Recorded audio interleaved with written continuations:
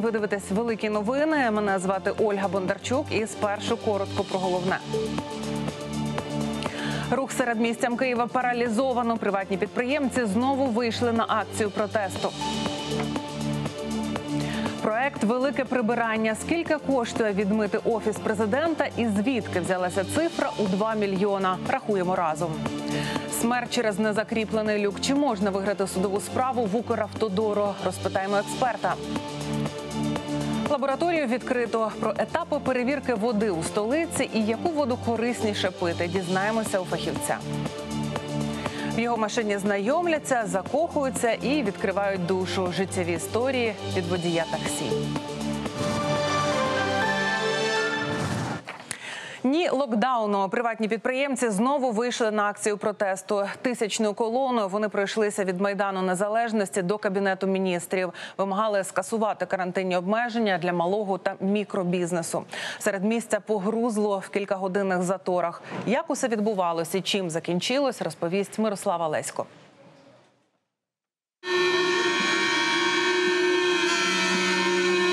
Перекриті дороги, кілометрові затори та розлючені водії. Перший день тижня зустрів киян справжнім дорожнім колапсом. Проте найбільш невдоволеними в цій напруженій ситуації були ті, хто ці затори й утворив. Майже 100 днів приватні підприємці мітингують на майдані. Щоденно тримають варту і чергують областями. Час від часу ФОПи з'їжджаються з усієї України та проводять масові акції протесту. Мітингарі запевняють, подібного ніколи не було б, якби влада хоч трохи до них дослухалась. Еще от тех локдаунов не очухались э, микропредприемцы, малый, малый бизнес. И сейчас опять загоняют э, людей по домам, не выплачивая ни компенсации, а заставляя нас платить налоги, аренды и все обязательные платежи. Галина ФОП другої категорії. В Черкасах вона тримає два магазини дитячого одягу. Після кожної хвилі карантину в її команді стає на одного працівника менше. Бідкається жінка. Каже, ще один такий локдаун, і вона не зможе елементарно платити найманим робітникам. У мене працювало 5 найманих працівників після е, січневого е, локдауну, нокдауну, скажімо чесно. Е, У мене залишилося поки що 4. По-хорошому потрібно ще скорочувати людину, тому що немає чим, просто немає чим платити е, заробітну плату. Галина впевнена, під час кожної хвилі карантину найбільше страждає малий та мікробізнес. Жінка називає дії влади нерозумними, адже одних вони зачиняють, а іншим не вводять жодних обмежень. Потрібно в карантин. Давайте всією країною закупимо продукти і два тижні разом з гіпермаркетами, разом з держслужбовцями сядемо і витримаємо, щоб перервати всі оці цепочки, які е, вважають наші чиновники, що створюються в нашій державі. Разом із своїми однодумцями жінка наметала не одну сотню кілометрів по столиці. Від майдану незалежності мітингарі попрямували до кабінету міністрів. Там виступали при відкритому мікрофоні, запускали димові шашки та вимагали розмови з прем'єр-міністром Денисом Шмигалем. Той до протестувальників не вийшов, і тому вони змушені були повернутись назад на майдан. По дорозі в знак протесту кілька разів перекривали пішохідні переходи. Свою акцію ФОПи назвали безстроковою і додали стоятимуть доти, доки влада їх не почує. Мирослава Лесько, Владислав Кузнєцов, телеканал Київ Лайв. Червоних зон в Україні побільшало. Міністерство охорони здоров'я додало до цього списку ще й Сумщину. Відтак, вже у восьми регіонах діють найсуворіші обмеження: це Житомирська, Івано-Франківська, Закарпатська, Чернівецька, Одеська і Київська області та столиця. Помаранчевий колір присвоїли 11 областям: Вінницький, Дніпропетровський, Донецький, Луганський, Львівський, Миколаївський, Полтавський, Тернопільський, Хмельницький, Черкаський та Чернігівський. Усі інші області потрапили до жовтої зони. Між тим в Україні стартував другий етап вакцинації. Міністр охорони здоров'я Максим Степанов розповів, кому робитимуть щеплення і скільки людей планують вакцинувати протягом цього періоду. З 22 березня 2021 року в Україні розпочинається чергова ланка другого етапу вакцинації. До організації щеплень, окрім мобільних бригад, додаються ще стаціонарні пункти щеплень е, в кількості 565 одиниць. Цього тижня ми переходимо до наступного кроку в рамках другого етапу вакцинації. Це імунізація сімейних лікарів. З прибуттям нових вакцин до них доєднаються також працівники соціальної сфери та працівники системи громадського здоров'я, а також люди старше за 80 років. Також від сьогодні у Києві почали вакцинацію 32 стаціонарні пункти щеплень для людей від 80 років. На вакцинацію можна потрапити через сімейних лікарів, які попередньо записують охочих. У кожному з центрів будуть лікар, медсестра, які пройшли спеціальне навчання. Та нашим кореспондентам вдалося поспілкуватися з лікарями поза камерою, і з'ясувалося, що більшість медичних закладів ще не отримали вакцину, а в деяких вона мала надійти сьогодні. Подекуди ще не готові працівники, тобто вони не пройшли навчання щодо вакцинації. Навантаженість кожного такого пункту на день 30 доз. Тобто, якщо порахувати, виходить у Києві щодня може вакцинуватися до сотні людей. Але наголошую, поки що це люди старші за 80 років. В одному флаконі 10 доз, і його повинні відкривати лише тоді, коли на черзі точно є 10 людей.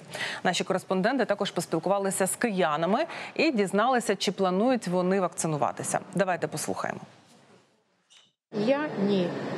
А чому? Я не довіряю вакцинації. Можливо, чекаєте якусь конкретну вакцину? Ніякої не чекаю. Ні. Я вже перехворіла ковідом і знаю сама, як це вилікуватись. Бу- Записуватимусь буду, тільки не цією вакциною. А якою хочете? Ну, побачимо. Кажуть, що хороша Джонсон і Джонсон. Ну буде чи в нас вона, чи не буде. Ну я думаю, що треба кудись поїхати віддихнути літом, а розумієте, що так не випустять нас.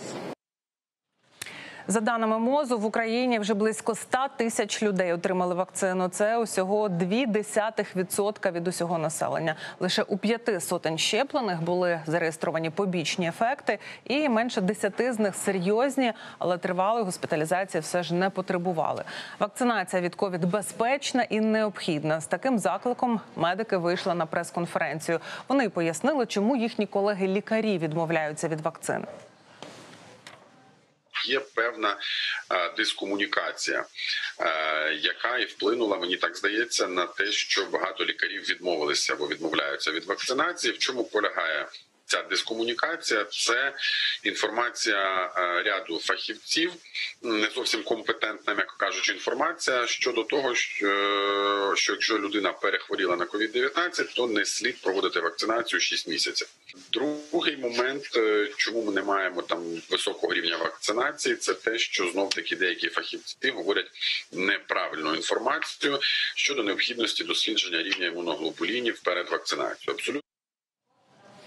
Ну а поки ж темпи вакцинації не тішать. Приміром, минулої доби жодного щеплення не зробили у столиці, Кіровоградській та Львівській областях. А от у Донецькій вакцинували рекордну кількість 770 людей. Загалом за минулу добу щепили 2715 українців.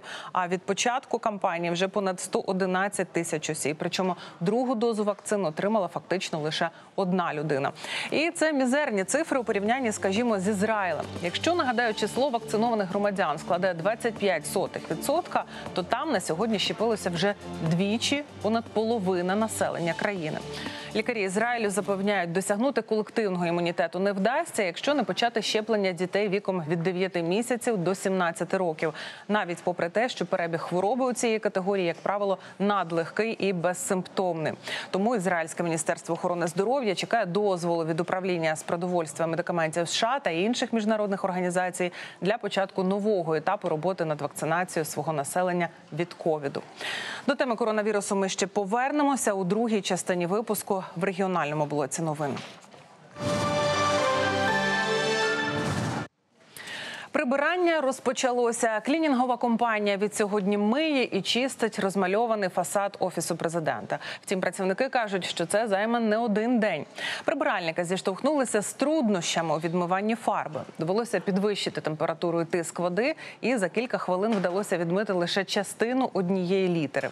Кілька малюнків обробили хімічним розчином і заклеїли поліетиленом. Така технологія спрацювала, і фарбу вдалося змити.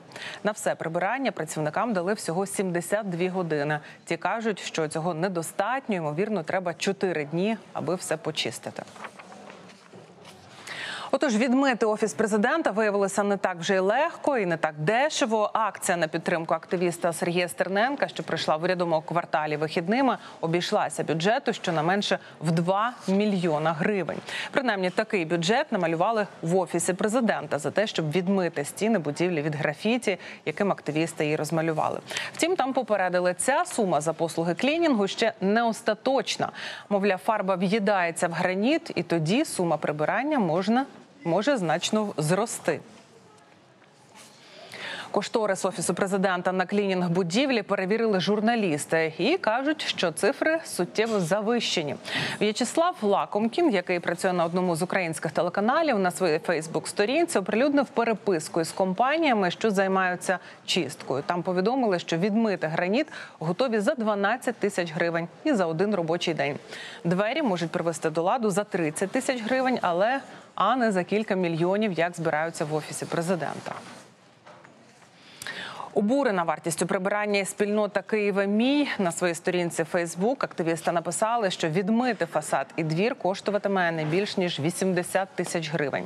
І як пише спікер з питань самозахисту демократична сокира Єлисей Холодовський, граніт, на відміну від мармуру, це магматична гірська порода. Він дуже щільний і фарба в нього фар- практично не в'їдається. Саме тому гранітом облицьовують дуже багато міських об'єктів. Ну і теж зазначу, що сума збитків у 2 мільйони гривень сильно завищена, приблизно у 25 разів. Ну і власне громадяни України у соцмережах теж активно обурюються ціною відмивання будівлі. Давайте почитаємо найяскравіші коментарі. Я коли прочитала, що за 2 мільйони це все можна відремонтувати, то вирішила поїхати і заробити. Не було би так смішно, якби ми з вами за це не платили зі своїх податків. На мою думку, ми і влада живемо у різних вимірах. Нам платять копійки, а списуються мільйони. Звідки у них такі розцінки? Прочитала відповіді клінінгової компанії, їх ще й штрафанути треба за обслуговування недержавною мовою, так що трохи вийде зекономити. Поліція на диво швидко відреагувала на акцію вандалізму і вже почала затримувати організаторів та учасників акції під офісом президента. Так підозру оголосили ветерану і засновнику видавництва Дім Химери Владу Сорду. Йому інкримінують хуліганство з застосуванням вогнепальної зброї. Активіст чекає на суд у СІЗО. Його адвокат Дмитро Мазурок повідомив, що запобіжний захід підозрюваному обиратиме Печерський суд. Засідання має відбутися завтра, 23 березня. Захист проситиме про домашній арешт. Ну я додам, що справжнє ім'я затриманого Владислав Гранецький Стафійчук, позивний на фронті Змій. Видання 20 хвилин називає його дизайнером, письменником, ветераном.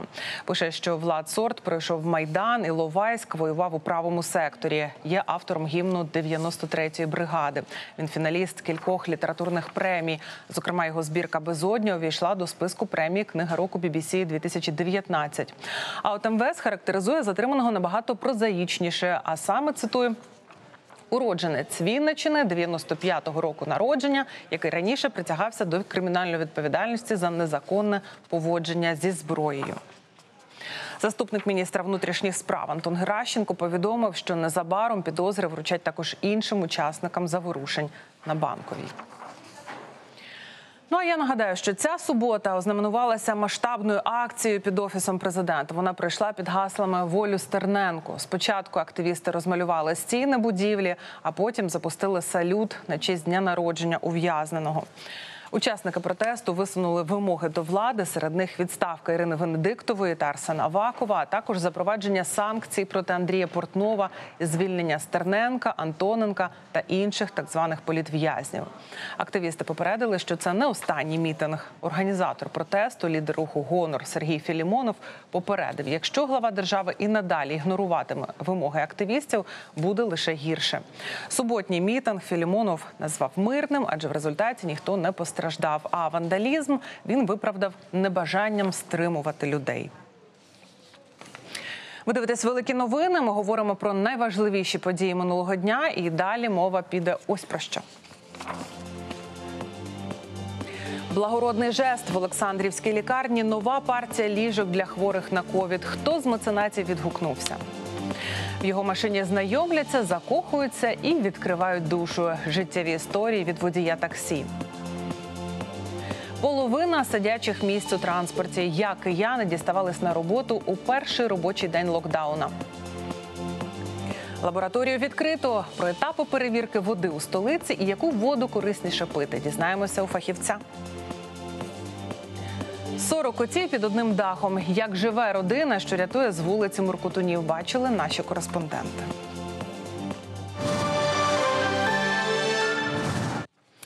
Ну а ми переходимо до надзвичайних тем. У Польщі потрапив в аварію автобус з українцями. Одна людина загинула, п'ятьох ушпиталили.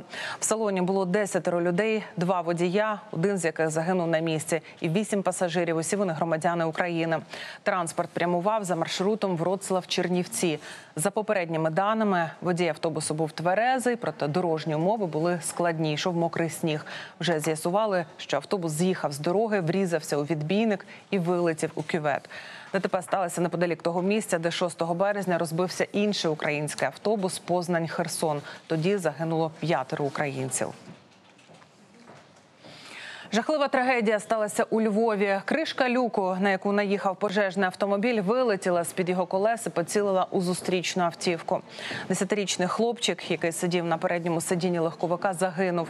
Рятувальники поспішали на місце пожежі, коли службовий автомобіль наїхав на каналізаційний люк. Він був погано закріплений і відлетів у зустрічну іномарку, розбивши скло автомобіля. Надзвичайники висловлюють співчуття родині загиблого хлопчика. Справою тепер займатиметься Держбюро розслідувань. traveling Міський голова Львова вже пояснив, що на вулиці, де сталася ця трагедія, спрацювала бригада Львівводоканалу. Втім, комунальники не зафіксували люк, а лише огородили цю ділянку проїжджої частини. Втім, огорожу пізніше хтось прибрав. Ну а львівські журналісти пишуть, що про незакріплений люк на вулиці Зеленій львів'яни щонайменше двічі повідомляли на гарячу лінію міста і ще до страшної події, але комунальні служби ніяк не відреагували. Та чи є шанси, що хтось відповість за цю трагедію? Будемо розбиратися з експертом. З нами на зв'язку адвокат Вадим Васильєв. Добрий вечір. Добрий вечір.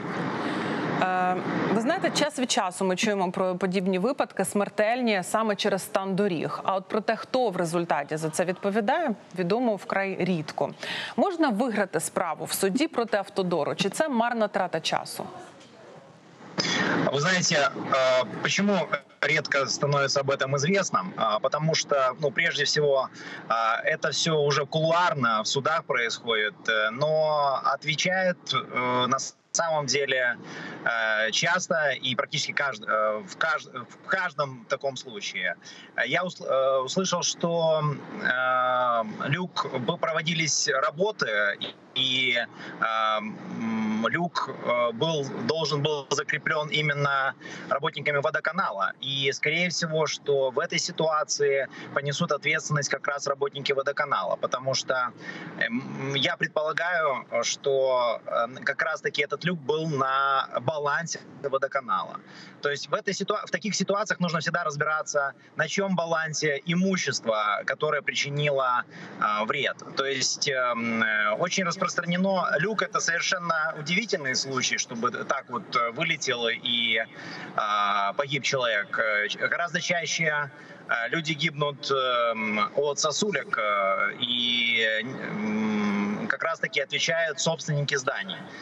Либо, либо же на балансе кого находится это здание. Ну, чтобы не, не, от- не отвлекаться и конкретно по поводу дорог и ям на дорогах. А если э, в, ну, на конкретном, конкретном случае, да, мы э, возьмем конкретный случай, а, по этому уголовному делу будет про- проводиться экспертиза. И именно на основании экспертизы а, будет выявлено, а, почему так произошло. Я предполагаю, это мое эм, экспертное мнение, что а, автомобиль, который наехал на люк, а, который а, по- пожарников, а, совершенно в этом не виноват. То есть его, его вина не будет установлена. То есть они не хотели и не желали наступления такого последствия, чтобы люк вылетел и влетел в другую машину, и тем более погиб от этого человек. А, Конечно же, а, та организация, на балансе которой находился этот люк, то есть мы мо- можем предполагать, либо это водоканал, либо э, Укравтодор. Э, ну, э, благодаря документам, я уверен, будет установлен э, конечный ответчик. А в этих делах э, особенно важно установить надлежащего ответчика, потому что Укравтодор — это не одна огромная организация, она разбита на конкретные юридические лица по всей стране. И а, в каждой области, в каждом районе, в каждом городе а, за дороги отвечают эм, разные юридические лица. И очень важно именно, а, например, э, мосты э, на балансе, например, города могут находиться, Э, городские дороги на балансе города, а шоссе на балансе э, уже э, Укравтодора. И поэтому во всех этих ситуациях нужно э, устанавливать конкретного ответчика, э, надлежащего, и в дальнейшем уже э, э, в рамках уголовного дела готовить э, гражданский иск. И в рамках уголовного дела э, уже э, устанавливается э, действительный виновник, и предъявляется иск э, о возмещении а, материального, морального вреда. А, Ну и, конечно же, э, э, виновные э, практически всегда э, несут соответствующее наказание. В этой ситуации, в этой возм- Зрозуміло. совершенно Дуже дякую вам за ґрунтовну розповідь. З нами на прямому зв'язку був адвокат Вадим Васильєв. Ну справді, на жаль, статистики виграних у комунальників і дорожніх справ немає зовсім. Відомо лише, що за останні два роки позивачі стягнули через суд більше мільйона гривень відшкодування. Так у Львові жінка отримала 73 тисячі гривень за авто, на яке впав величезний. Клен сталося це у студентському парку. Тож власниця машини довела через суд провину навчального закладу. Жінка розповіла, що кілька разів зверталася до вишу, аби вони зрізали аварійні дерева, але марно. Ну, в грудні минулого року новенькі стопи освітлення, встановлені на Шулявському мосту, впали і потрощили вісім автомобілів. Компенсацію власникам має сплатити генпідрядник. А от відсудити живі гроші у Київавтодору вдалося лише кільком щасливчикам. Та киянин Юрій Чудновець стягнув з організації 25 тисяч гривень за пошкоджене люком дно фургону. А Станіслав Синюк зміг довести у суді, що його Хонда отримала серйозні пошкодження саме через яму на Гостомельському шосе. Дорожники мали сплатити йому 37 тисяч гривень компенсації. Щоправда, в обох випадках судова тягнина тривала кілька років. Ну для того, щоб довести провину комунальників або дорожників, позивачі змушені були збирати цілу купу доказів різних довідок та експертиз. Ну а ми повертаємось до теми коронавірусу. І давайте подивимось на нашу з вами статистику. На жаль, ковід розповсюджується з неймовірною швидкістю, навіть попри вакцинацію і нові карантинні обмеження. Минулої доби такий діагноз поставили майже 8 тисячам людей. Більше трьох тисяч ушпиталили, 157 людей не витримали наслідків недуги. А ось побороли вірус майже 3 тисячі українців. Найбільше заражень у Львівській, Одеській, Житомирській, Київській та Вінницькій областях. Досить складна епідеміологічна ситуація у Миколаєві. Ліжкомісця із підведеним киснем у міських лікарнях заповнені майже на 64,5%. І це при допустимому показникові у 65%. Але найбільше лякає кількість госпіталізованих пацієнтів. Всі палати зайняті і їх облаштовують вже просто в коридорах. Жорсткий карантин у місті почне діяти з 24 березня в межах червоної зони. Під час локдауну не працюватимуть ТРЦ, обмежать роботу кафе та ресторанів, закриють також заклади культури. Також у місті прийняли рішення про запровадження спеціальних перепусток для проїзду в громадському транспорті. Підприємствам, установам та організаціям необхідно оновити електронні перепустки своїм працівникам на сайті міської ради. Вже живуть за правилами жорсткого карантину львів'яни. Обмеження там діятимуть щонайменше до 4 квітня.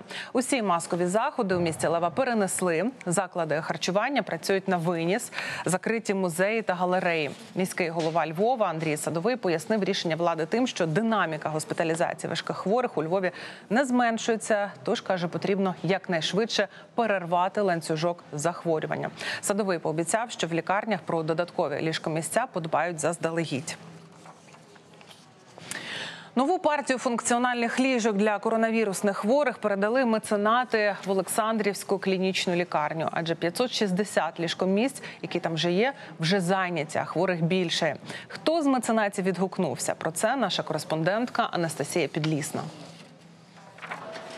Понад рік весь світ спільними зусиллями веде боротьбу з коронавірусною хворобою. Понад рік лікарі щоденно віддано борються за життя кожної людини. До ковіду ніхто не був готовий. Деякі медики навіть уявити не могли, з яким навантаженням доведеться зіштовхнутись найближчим часом. Фахівці зауважують, що коли коронавірус дістався і України, більшість лікарень фактично не мали ніякого забезпечення. На допомогу медзакладам в такий нелегкий час прийшли меценати. Вже рік благодійний фонд Вадима Столара допомагає вітчизняним лікарням на постійній основі. Спочатку ми привозили просто засоби захисту. Це були і е, рукавички, це були і халати, це були маски, звичайні, яких просто не було. То зараз це все таки допомога е, безпосередньо тим, е, хто тут перебуває в лікарні, е, тим, хто е, хворіє, і е, лікарня все таки вже в ну можна сказати на певному рівні забезпечення перебуває. Благодійний фонд Вадима Столара минулої весни починав з закупівлі медикаментів та засобів індивідуального захисту.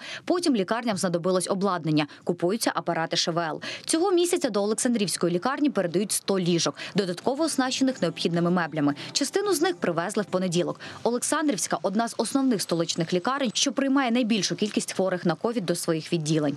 Збільшилась кількість поступлення хворих е, до нас, в нашу лікарню, Олександрівську лікарню. І ця кількість е, щодня має певну навантаження на ліжковий фонд. Тому потреба в додаткових ліжках стала перед е, адміністрацією лікарні. Ми звернулися до фонду, і фонд на сьогоднішній день нам забезпечив поступлення додаткових ліжок, які ви зараз бачите, які будуть е, е, поставлені в відділення, котрі будуть надавати е, медичну допомогу саме групі хворих із COVID-19. Протягом 2020 року благодійний фонд Вадима Столара надав допомогу вітчизняним лікарням на суму приблизно 15 мільйонів гривень. З огляду на пандемію, перш за все, приходять на поміч тим закладам, які працюють опорними по лікуванню коронавірусної інфекції. На постійній основі дізнаються, що саме необхідно для лікарень, і закуповують. з Олександрівською лікарнею ми постійно на зв'язку. І от е, минулий четвер е, до мене надійшла інформація про те, що Олександрівська вперше за весь час е, призупинила госпіталізацію хворих. В зв'язку з цим виникла велика потреба для того, щоб надати нові ліжка для розгортання нових ліжкомісць. І ми відповідно відреагували. Насправді ситуація критична. І якщо там в так званій першій другій хвилі коронавірусу це були там е, легкі захворювання і л- легкий перебіг хвороби, то зараз це в основному е, тяжкохворі і тому потрібні функціональні ліжка. Динаміка третьої хвилі коронавірусу невтішна, і потреби лікарень можуть збільшуватись. Тож співпраця благодійного фонду Вадима Столара з лікарнями не припиниться доти, доки пандемія не відступить назавжди. Анастасія Підлісна, Олег Татарінов, телеканал Київ Лайв. Друге місце на конкурсі на кращу марку Європи 2020 року «Постєвро» отримала українська марка листоноша Федір Фекета. Зображення із закарпатським листоношею створила художниця Ірина Медведовська. Це не вигадана історія. Федір Фекета дійсно існував і працював листоношею. Щодня протягом 30 років він проходив десятки кілометрів, аби доставити людям пошту. Його шлях пролягав по гірських стежках, а іноді чоловікові доводилося перебиратися гірськими річками. Тираж цієї марки 100 тисяч примірників. Друге місце разом з українським зображенням розділили марки Фарерських островів і Швейцарії. Це стало безпрецедентним випадком за всю історію проведення конкурсу. Український боксер Денис Берінчик здобув титул чемпіона WBO у легкій вазі. Цей пояс спортсмен виборює вже в п'яте. Українець технічним нокаутом переміг чилійця Хосе Санчеса. Бій тривав усього три раунди. На початку крайнього раунду Берінчик приголомшив суперника достатньо важким ударом, аби той після отриманого не зміг оговтатися.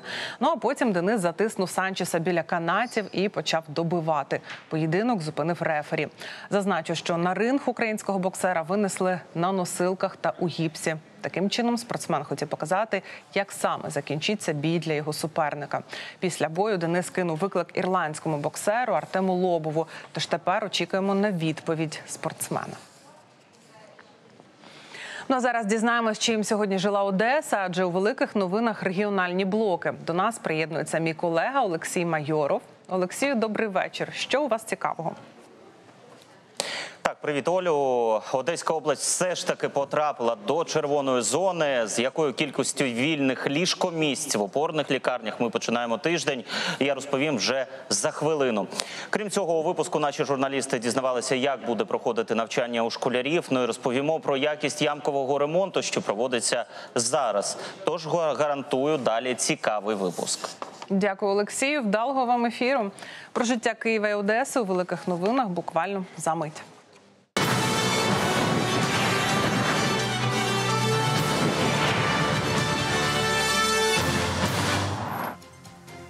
В ефірі Одеса Лайв великі новини у студії для вас працює Олексій Майоров. І зараз коротко про головне.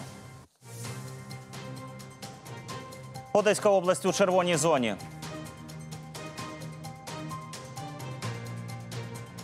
Інспекція одеських лікарень.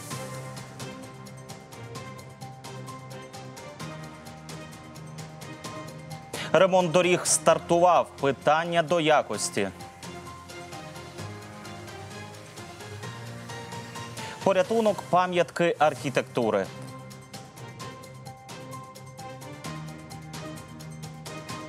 Підготовка до прем'єри в оперному театрі. Ну що ж, здійснилося. Міністерство охорони здоров'я включило Одеську область до червоної епідзони. Про те, що такий поворот подій можливий, е, було зрозуміло ще минулого тижня, коли кількість хворих на COVID-19 показала стрімке зростання, а в лікарнях для інфікованих не вистачало ліжок. Зокрема, в Одеській області рівень госпіталізації протягом 17-19 березня перевищував показник у 60% на 100 тисяч населення. Зараз становить вже 70%. Відсотків усі карантинні обмеження почнуть е, діяти вже завтра, 23 березня.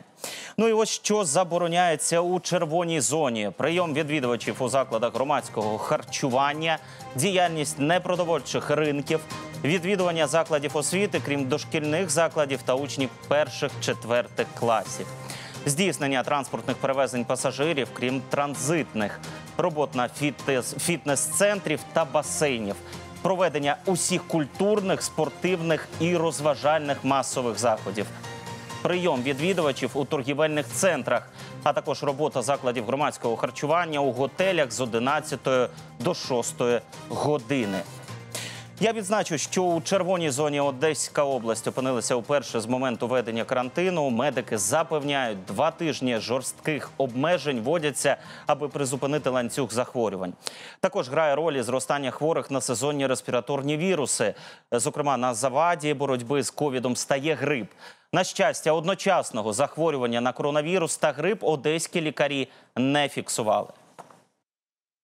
Надаються пропозиції органу виконавчої влади. Як е, мінімум, це збільшить кількість транспорту, який буде забезпечити перевезення е, осіб і розмежування та е, кількість свободних місць, які будуть забезпечені населення, яке перевозиться. Ну а що стосується останньої статистики, то плюс 745 нових хворих. Стільки випадків коронавірусу підтвердили в Одеській області за минулу добу. Таким чином, ми посідаємо тверде друге місце за захворюваністю на COVID-19 по Україні. З нових хворих 401 одесити, 344 мешканці області. Загалом не вдалося побороти вірус понад 850 пацієнтам, тоді як одужали близько 37,5 тисяч пацієнтів. Ну а всього в Одеській області кількість позитивних тестів вже перевалила за 98 тисяч. У свою чергу міністр охорони здоров'я Максим Степанов заакцентував увагу на вакцинації від коронавірусу людей похилого віку. Починаючи десь з 29-30 березня, ми плануємо е, почати вакцинацію людей, які старші за 80 років, які попередньо записалися до листа очікування. Таким чином, поступово ми е, збільшуємо охоплення, додаємо різні категорії громадян для того, щоб збільшити.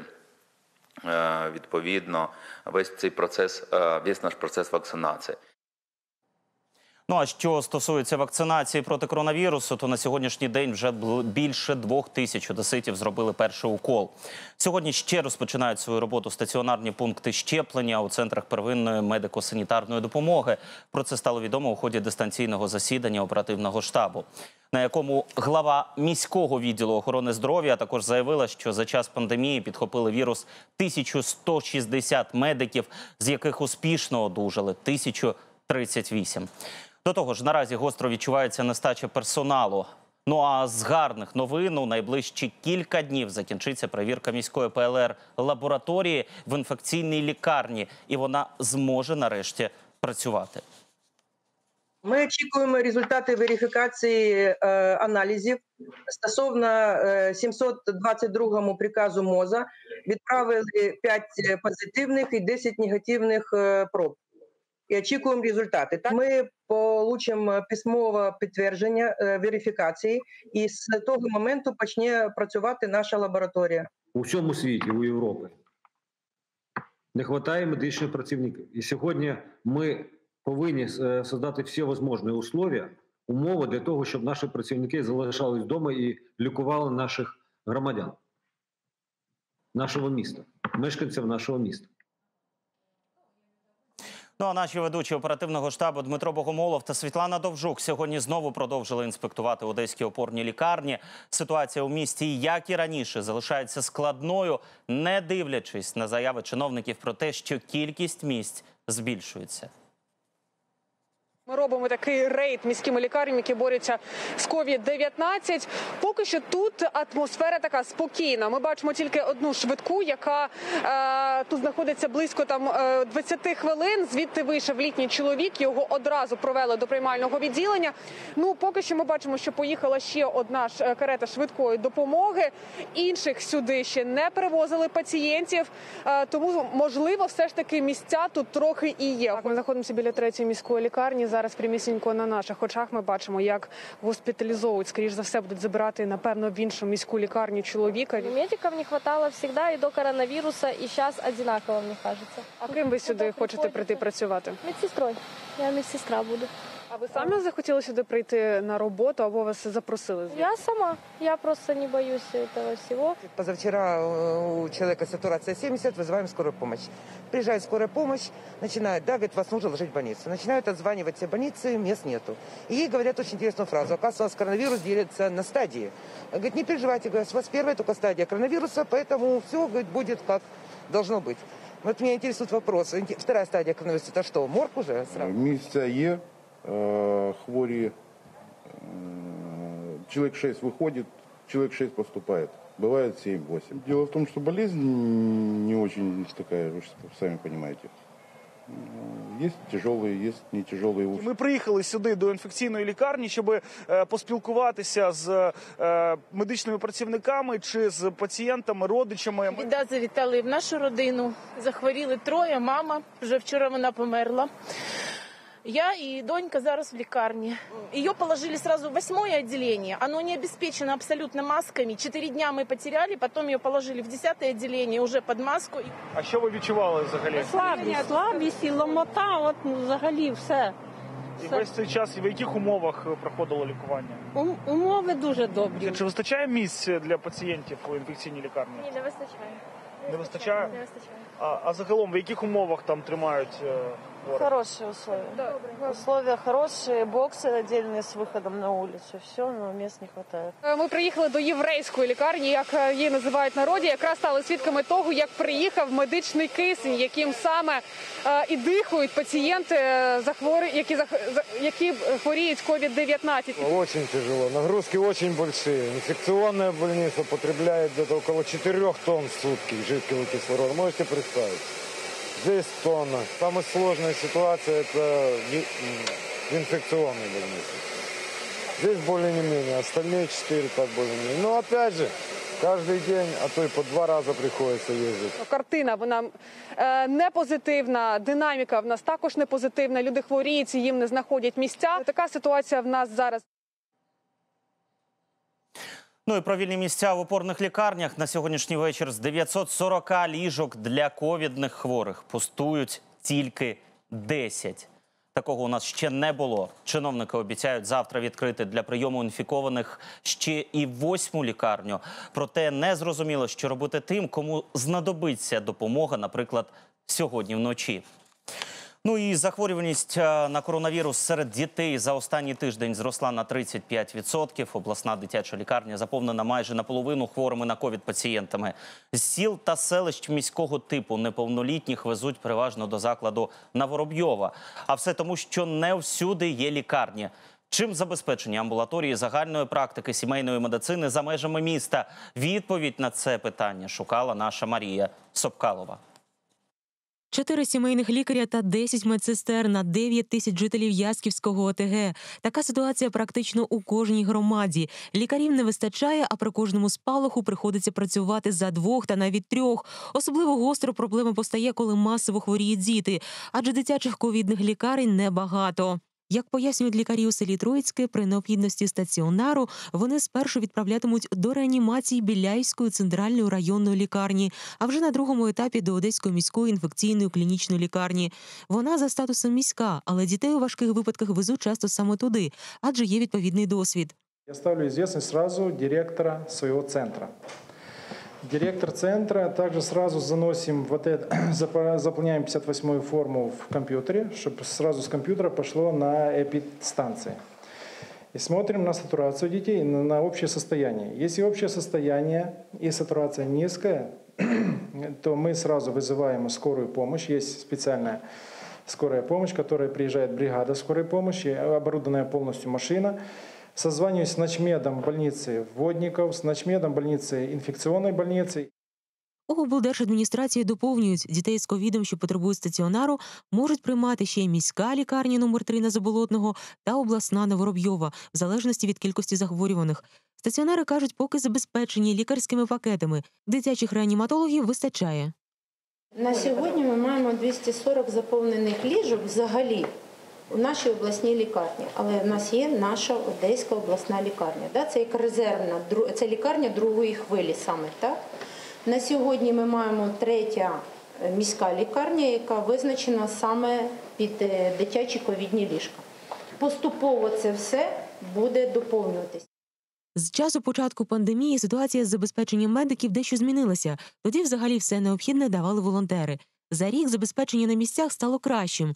Так, у центрі первинної медико-санітарної допомоги Ясківської сільської ради нам показують медичні засоби захисту, костюми для одноразового використання, які замінюють кожні три години. Є у наявності і експрес-тести на коронавірус, хоч їх точність визиває сумніви. Медики розповідають, раніше не вистачало антисептиків, наразі їх достатньо.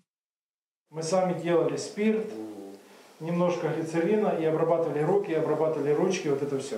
И немножко белизны. Я раздала э, каждому врачу по 100 штук, и вот у меня еще остаток. Но нам обещали еще закупить. З квітня у Троїцькому розпочнуть вакцинацію на місяць пізніше ніж в Одесі.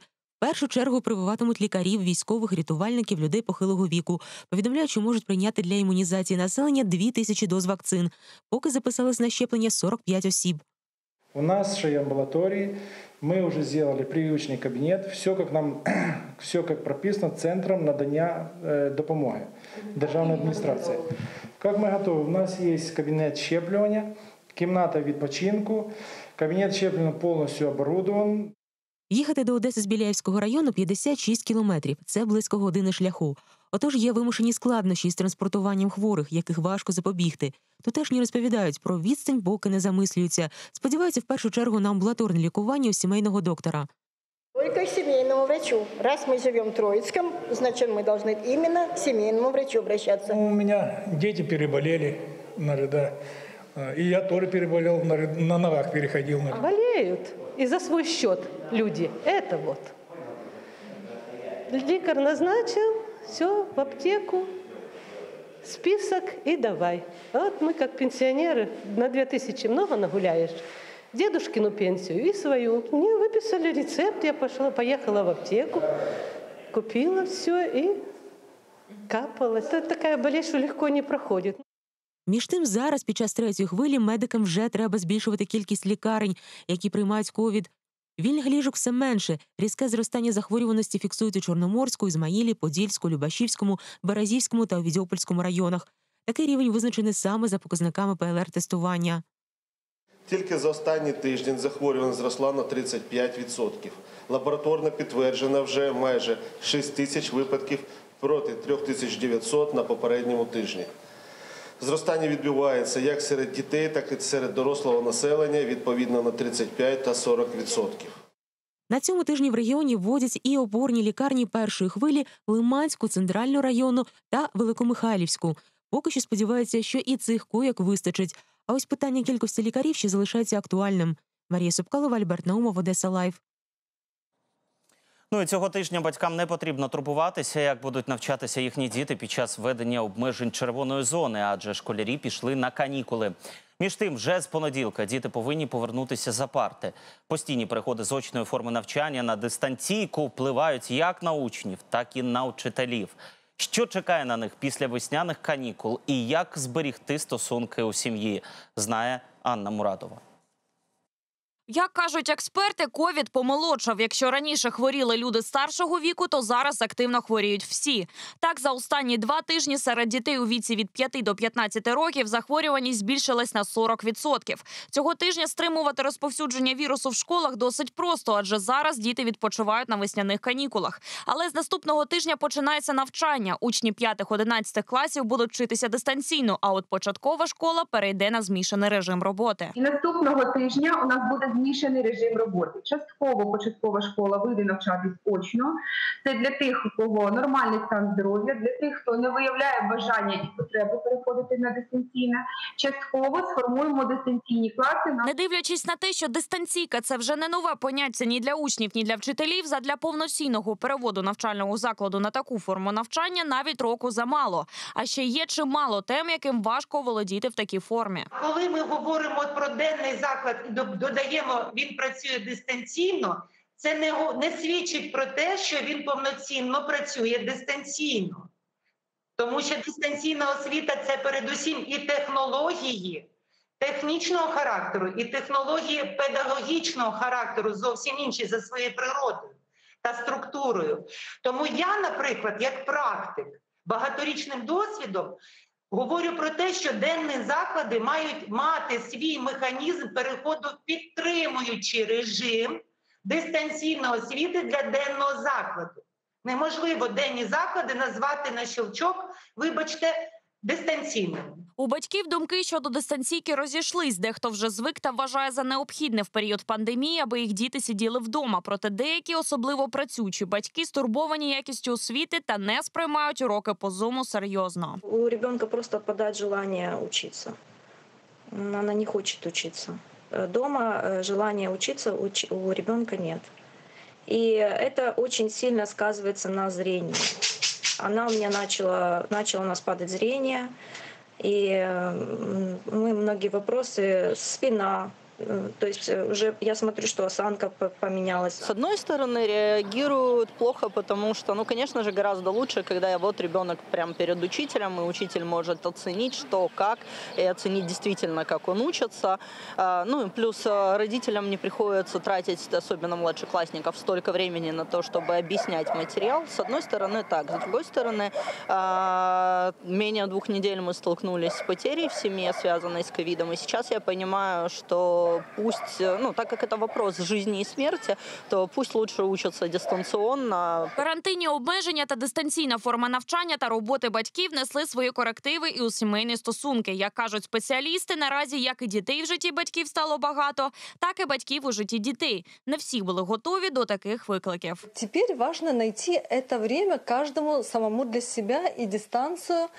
Э, И ну, что я бы сказала, здесь важно выделить для ребенка свое место, э, на котором он будет учиться, для родителя свое место, в котором он будет работать. И отдельное место, где будут проводиться игры и совместное времяпрепровождение. Проте батькам молодших класів все ж дають вибір. Протягом усього тижня пройде опитування, яке визначить, скільки дітей початкових класів продовжать вчитися в школі і хто перейде на онлайн. А от як довго триватиме такий формат та як це вплине на якість знань школярів, поки що невідомо.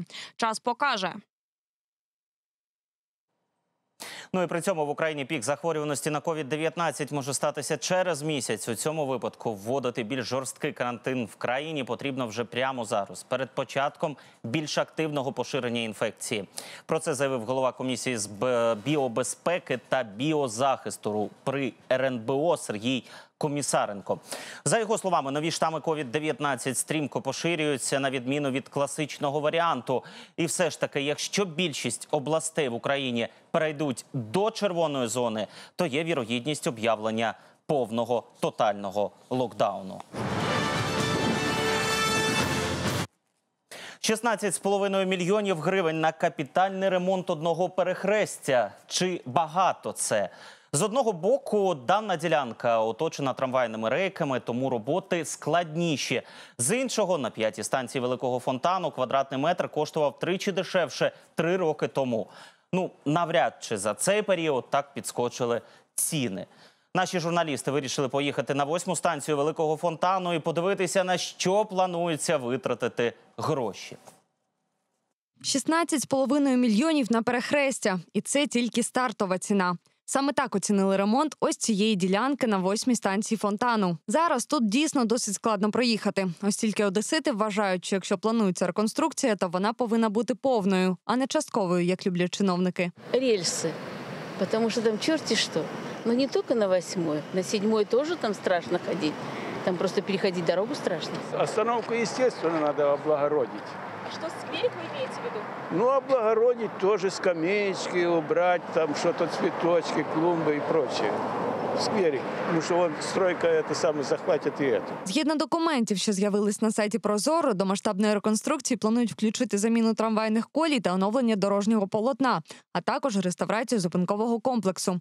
Поновлення чекає і на дорожні знаки та розмітку. Ходити вздовж зупинки також стане простіше, адже увагу приділять ще й тротуарам. Тож будемо сподіватися, що ці плани будуть реалізовані до 2022 року. А поки шукають підрядника, його мають визначити 1 квітня. Головне, щоб в результаті роботи були виконані якісно і не довелося все знову переробляти. Як, наприклад, на бульварі Жванецького, де плитка відійшла через півроку після відкриття. Марія Собкалова, Вадим Мирза, Одеса Лайв. Ну, якщо говорити про якість робіт, то наочно все це може показати дане відео. Ось так у нас сьогодні проводиться оновлення дорожнього покриття. По місту їде трактор, який висипає у яму зрізаний асфальт. І на цьому усе. Утрамбовують його самі водії, що проїжджають повз. І це за наші з вами кошти. Адже дані роботи зазначаються як ямковий ремонт. Ну і схожий ямковий ремонт е, зробили на перехресті проспекту Добровольського вулиці Заболотного. Минулої п'ятниці наші журналісти знімали матеріал про розтрощені дороги саме на цьому місці. За вихідні комунальники намагалися відремонтувати дорожнє покриття, але зробили це очевидно неякісно. Вже за два дні дорога знов, як то кажуть, попливла хвилями. А з під коліс вантажівок асфальт буквально вилітав. Ями, які знаходяться за 10 метрів від так званого ремонту, комунальники вирішили просто проігнорувати. Дороги, дорог нету вообще. Коммунальщики не делают ничего, засыпают дороги каким-то, извините, шлаком, и не происходит ничего. Обратите внимание на нас, мы тоже люди. Ну а крім цього, в Одесі планують зайнятися дорожнім покриттям на- магістральних маршрутах, де більше всього проїжджає громадський транспорт. Проте у першу чергу ремонт стосується маршрутів електротранспорту. Про це повідомив начальник управління дорожнього господарства міськради Андрій Сандул. Ремонт буде тривати декілька місяців за сприятливих погодних умов. Після завершення цих робіт е, також будуть е, роботи проведені на всій останній часті вулично-дорожньої мережі, де це потребує того ситуація. Також хочу повідомити, що розпочатий поточний ремонт французького бульвару. Е, Це буде е, ремонтуватися локально е, ті участки, які мають просадки. Ну а ми вже говорили, що міське управління дорожнього господарства виділяє кошти на ямковий ремонт без точних адрес. На теперішній час виділили майже 10 мільйонів гривень на реконструкцію понад 13 тисяч квадратних метрів міських доріг. А ось на ремонт вулиці Толбухіна не можуть знайти підрядника. Один за одним тендерний комітет знімає учасників, а сам проект ризикує стати довгобудом. Реконструкція тягнеться з 2016 року. І поки що грошей на ремонт вулиці у повному обсязі взагалі немає. Його вартість оцінили у 127 мільйонів, а у бюджеті поки що заклали лише 20.